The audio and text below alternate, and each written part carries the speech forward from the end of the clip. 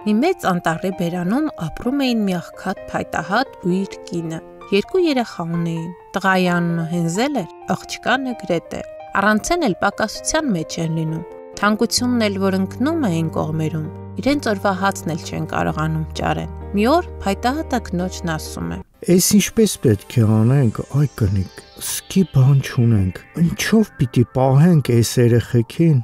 Գիտես այ մարդ, արի առավոտը ցեքին երեխաներին տանենք անտարի խորքը, կրակ անենք, մի-մի կտոր հաց տանք, ձեռներն ու այնտեղ թողնենք։ Մենք ետ գանք մեր գործին։ Ճամփեն չեն գտնի, որ ետ գան տուն, ու մենք էլ կազատվենք։ Չէ, այ կնիկ, ես այդպես բան չեմ կարող անել։ Իմ սիրտը չի տանիլ, որ ես իմ ձեռքով իմ երեխաներին տանեմ թողեմ անտառում։ Վերջապես գազանները կհարցակվեն, կպատարոտեն նրանց։ Ահ, հիմար, Այսպես թե այնպես 4-ս էլ սովամակ կորչելու ենք։ Այն ժամանակ գնա ու դագաղների համար տախտակ տաշի։ Բայց էլի մեղքս գալիս է խեղճ երեխեքից վրա ասում է փայտահատը կնոջ հետ համաձայնվելուց հետո։ Իսկ երեխաների քունը սովից չի տանում։ Լսում են ամեն բան, ինչ որ խորտմերը ասում էր իրենց հորը։ Աղի աղի լաց է լինում Գրետելը ու դառնում Հենզելին։ Մենք կորանք Հենզել։ Սուս կաց Գրետել ջան, դարդ մի անել, ես դրա ճարը գիտեմ։ Եվ ահա մեծերը քնում են թե չէ,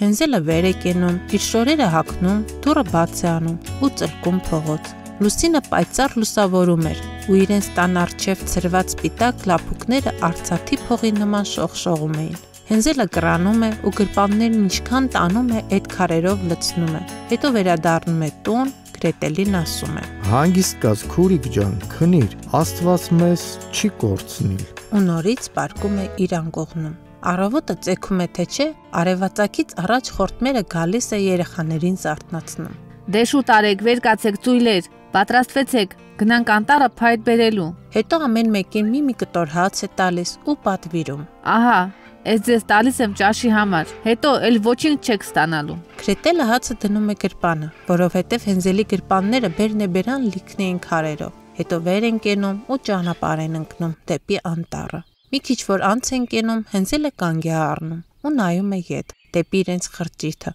ու շարնակ այդպես ետ է մնում։ Հերն ասում է. Հենզել, ինչ ես դու շարունակ ետ մտիկ տալիս ու ետ մնում։ Հորանջելու ժամանակ չի, ոտները չարժ։ Հայրիկ, ես մեր սպիտակ կատվին եմ մտիկ տալի։ Այ, այնտեղ կտուրին նստել են։ Կարծես թե մեզ վերջին մնաց բարովն է ասում։ Խորտմերը այստեղ խոսքը կտրում է։ Ապուշ, իսկ էլ մեր կատուն չի։ Այն կտուրի վրի սպիտակ ծխնելույզն է, որ փայլում է արևի տակ։ Իսկ Հենզելը կտուրի վրա նայելու մասին իսկի չէր էլ մտածում։ Նա ետ ընկնելով իր գրպանի սպիտակ քարերն էր ցանում ճամփին։ Հենց որ հասնում են անտառի խորքը, Հերն ասում է. Դե երեխեք, փեթ հավաքեք, ձեզ համար կրական եմ, որ չմրսեք։ Հենսելն ու Գրետելը ցախ են հավաքում, բերում, կրականում։ Խորտմերը ասում է. Դե երեխեք, դուք կրակի կողքին պարկեցեք ու հանգստացեք իսկ մենք գնանք մի քիչ հեռու, փետ անենք, բրցնենք, թե չէ կգանք ձեզ էլ կվերցնենք, միասին կգնանք տուն։ Հենզելն ու Գրետելը կրակի կողքին նստում են։ Ճաշելու ժամն էլ որ գալիս է, ամենքն իրենց հացի կտորն ուտում են։ Եվ որովհետև կասնի ձեն են լսում, հավատացած են, որ իրենց հերը մոտիկ է, բայց որ թրխկացնում էր, Ընկածին չէր կոճղերը, որ փայտահատը կապել էր մի 4 ծառի, քամոց գնում գալիս զարկում էր ծառի բնին ու թրխկացնում։ Ու այսպես երեխաները երկար-երկար նստում են։ Աչքները հոգնածությունից փակվում են իրենց իրենց ու խորը քնում են։ Մինել վեր են կենում, տեսնում են արդեն մութ գիշերը։ Ոնց պետք է անտարից դուրս գանք, Հենզել։ Հենզելը սիրտ է տալիս։ Մի քիչ կա, ցրես լուսնա կդուս կգա, ճանապարհը կգտնենք։ Հենց որ լուսինը դուրս է գալի, Հենզելը քրոջ ձեռքը բռնում է ու գնում իր ցանած քարերով, որոնք արծաթի փողերի նման պսպղում էին ու ցույց տալիս ճանապարհը։ Ամբողջ գիշեր այսպես միջև լույս գնում են ու լուսաբացին հասնում են իրենց տուն։ Դուրը ծեծում է, խորտմերը բաց է անում, ու թեև շատ է զարմանում, որ տեսնում է Հենզելին ու Գրետելին, բայց ասում է. Այ դուք չար երեխեք, այսքան ժամանակ ինչ եք անտառում քնելու մնացել։ Մենք էլ կարծում ենք, ել չեք ուզում մեզ մոտ վերադառնաք։ Իսկ հերն ուրախանում է, որովհետև նրա սիրտը ցավում էր, որ իր երեխաներին մենակ անտառում էր թողել։ Մի քիչ ժամանակ անց կենալուց հետո նորից սով են գնում ամենտեղ, ու նորից երեխաները լսում են, թե ինչպես իրենց խորտմերը գիշերը հորն ասում է։ Էլի այդ ինչ ունենք, չունենք կերանք։ Մենակ մի կես հաց է մնացել։ Էն էլ որ կերանք, մեր բանը պրծած է։ Պետք է այս երեխանցը հեռացնենք։ Տանենք անտառն, այս անգամ ավելի խորը, որ էլ չկարողանան ճամփա գտնեն ու ետ գան։ Թե չէ, էլ մեզ փրկություն չկա։ Այս բանը քարի նման ճնշում է հոր սիրտը ու միտք է անում։ Ավելի լավ է այն մնացած վերջի պատառն էլ բաժանեմ իմ երեխաների հետ։ Բայց ինչ որ ասում է, կինը ոչ մի բան չի ուզում լսի։ Հենց մի գլուխ հայհոյում ու նախատում է։ Հայտահայտն էլ, որ մի անգամ արդեն կնոջ հետ համաձայնվել էր, երկրորդ անգամ էլ պետք է համաձայներ։ Իսկ երեխաները դու մի ասակնաչ չեն, այս բոլորը լսում են։ Մեծերը քնում են թե չէ, հնզելը տեղից վեր է կենում։ Ուզում է առաջվա նմանել դի դուրս գնա գրպանները pašարով լցնի, բայց խորտմերը դուռը փակած է լինում, չի կարողանում դուրս գա, բայց ելի քրոջն ամեն կերպ սիրտ է տալիս։ Լաց մի լինիր, Գրետել ջան։ Դու հանգիստ քնիր քեզ համար։ Աստված ողորմած է, մեզ չի կորցնիլ։ Առավոտը ցեքին խորտմերը գալիս է, տեղներից վեր կացնում, ամեն մեկին մի կտոր հաց է տալի։ Հացի կտորն էլ առաջվա տվածներից ավելի փոքր։ Եվ ահա ընտար գնալիս ճամփին հենզելը գրպանում շարունակ մանրում է իր հացի կտորը։ Շուտ-շուտ ետ մնում ու ցանում յետևներից։ Հերն ասում է. Հենզել, դու քանի կանգնես ու 4 կողմի վրա հորանջես։ Ճամփիդ գնա, էլի։ Հայրիկ, ես մեր սպիտակ աղավնուն են մտիկ տալիս, որ հրեն հա մեր տանիքին նստած կարծես թե բարև է ղրկում։ Հիմար, այն իսկ էլ քո աղավնին չի, այն սպիտակ ծխնելուզն է, արիվիտակ սպիտակին տալիս։ Իսկ Հենզելը այդ ժամանակ հացի փշրանքները հենց գցում է ու գցում իրենց ճամփին։ Երեխաներին տանում են անտառ, այնպես մի խորը տեղ, որ իրենք երբեք չէին եղել։ Այնտեղ էլ կրակ են անում ու խորտմելն ասում է. Երեխեք, դուք այստեղ նստեցեք ու թեքուններդ կտանի քնեցեք։ Իսկ մենք մի քիչ ավելի խոր գնանք, փետ հավաքենք, հետո իրիկունը երբ որ գործներս կվերջացնենք, կգանք, ձեզ կառնենք ու կերթանք տուն։ Ճաշի ժամը որ գալիս է Գրետելը իր մի կտոր հացը բաժանում է Հենզելի հետ, որովհետև Հենզելը իր հացը ճանապարհին փշրել էր։ Հետո ննջում են։ Իրիկունն էլ վրա է հասնում, բայց ոչ ոք չի գալի խեղճ երեխաների ետևից։ Զարթնում են կեսգիշերին։ Հենզելը սկսում է սիրտ տալ իր քրոջը։ Գրետել ջան, սպասիր, մինչև Լուսինը դուրս կգա։ Այն ժամանակ Երևան հացի փշրանքները, որ ես ճամփին շաղ եմ տվել, նրանցով կգտնենք մեր ճամփեն ու կգնանք տուն։ Լուսինը դուրս է գալի, թե չէ երեխեքը ճամփա են ընկնում, բայց ոչ մի փշրանք չեն գտնում, որովհետև թրջունները կերել էին դրանք։ Իսկ Կենզելը շարունակ Գրետելին ասում է. Ինչպես էլ որ լինի, մենք կգտնենք ճանապարհը։ Բայց ճանապարհը գտնել չեն կարողանում։ Թափառում են 1-2 օր։ Բացվում է երրորդ օրվա առավոտը։ Կեսօրին տեսնում են մի ծառի ճյուղին մի սպիտակ սիրուն թրջուն։ Այս սպիտակ սիրուն թրջունը այնպես լավ է երգում, որ երեխեքն ակամայից մարում են տեղներն ու ականջ են դնում։ Լռում է թե չէ թևին է անում։ Երեխանց կողքից թրջում նստում մյուս ծառեն։ Երեխաներն էլ նրա հետևից այսպես գնում են, գնում, մինչև որ հասնում են մի տնակի։ Երեխեքը տնակին մոտենում են, տեսնում են ինքը տունը ամբողջովին հացից է շինած, կտուրը գաթայից, իսկ լուսամուտները թափանցիկ շաքարից։ Ահա, հենց սրանից էլ կսկսենք։ Մի լավ քեֆ կանենք։ Ես տանիքից մի կտոր կուտեմ, դու էլ լուսամուտից կեր գրետել։ Ով գիտի ինչ անուշ է, չէ։ ու Հենզելը ձգվում է դեպի վերև։ Տանիքից մի փոքրիկ կտոր է կտրում։ Գրետելն էլ կրանում է, սկսում է լուսամուտի ապակին ուտել։ Հենց այս ժամանակ ներսից մի բարակ ձեն է գալիս։ Կրծ կրծ կրծ խս խս խս Էսով է կրծում տունս Երեխեքը պատասխանում են ու առանց սրանից շփոթվելու շարունակում են ուտել։ Հենզելին տանիքն այնքան դուր էր եկել, որ մեծ կտոր կտրեց, իսկ Գրետելը լուսամուտից հանեց մի ամբողջ ապակի։ Տեղն ու տեղը նստեց ու անուշ անուշ ուտում էր։ Մին էլ հանկարծ դռները ետ են բացվում ու դուրս է գալիս մի պարավ կին։ Հենզելն ու Գրետելը այնքան են վախենում, այնքան են վախենում,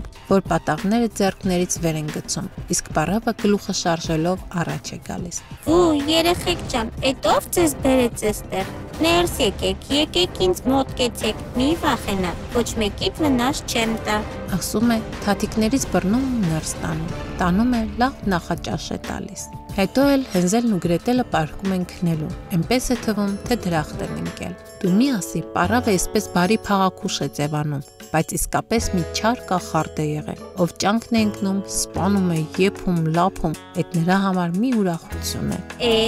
սրանք արդեն ճանկումս են, սրանք էլ ինձնից չեն բրծնի։ Առավոտը ցեքին երեխաներից առաջ արթնանում է ու ինքն իրեն մտածում։ Ուխայ, ինչ անուշ պատառներ են։ Հենզելին բռնում է իր ոսկորոտ ձեռքերով, քարշ է տալի, տանում հավանոցը գցում։ Վանդակավոր դուռը փակում ու թողնում այնտեղ գոռան։ հետո գնում է Գրետելի հետևից, հրում ու ճղճղում։ Դե, շուտ, շուտ, վեր կաց, ծույլ աղջիկ։ Գնա ջուր բեր, եղբորդ համար մի որևէ համով բան եփի։ Հրեն հավանոցում փակել եմ։ Պետք է նրան կերակրել, որ մի լավ չաղանա ինձ համար։ Պետք է չաղանա, որ ուտեմ։ Գրետելն էլ ուզում է լաց լինի, բայց այդ բոլորը զուր էին։ Մնում է սուս ու փուս պարավի հրամանները կատարել ու սկսում է Հենզելի համար համով կերակուրներ եփել։ Իսկ իրեն Գրետելին բացի 4 ոսկորներից բան չէր տալիս։ Ամեն առավոտ պարավը գնում է հավանոցի դուռը կտրում ու կանչում։ Հենզել, մատա տեսը մեկնիր։ Տեսնեմ չաղացել ես, թե չէ։